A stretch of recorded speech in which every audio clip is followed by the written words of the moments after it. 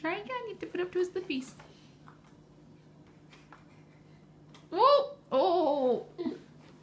Good job, Finn. No, that we. Was that good, Rip? Yum. That we did more. Okay, you have to be really gentle when you get close to him, okay? You don't want to push it into his throat. Well, that's a lot. okay, good job. Good job, Rip.